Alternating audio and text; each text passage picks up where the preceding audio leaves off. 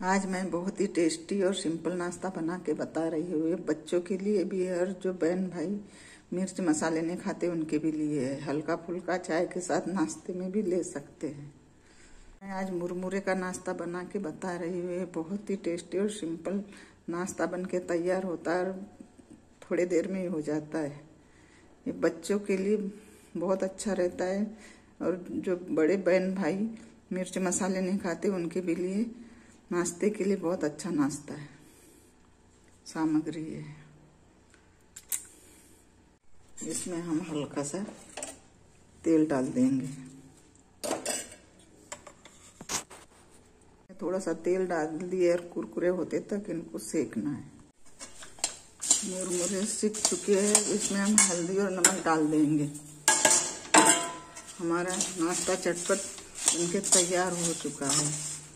दो मिनट में तैयार हो जाएगा नाश्ता खाने के लिए।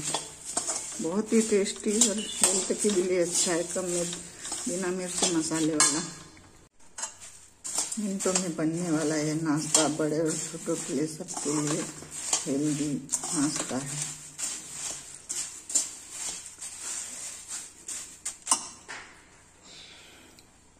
ये नाश्ता महीना भर तक पैक बन डिब्बे में भी रह सकता है।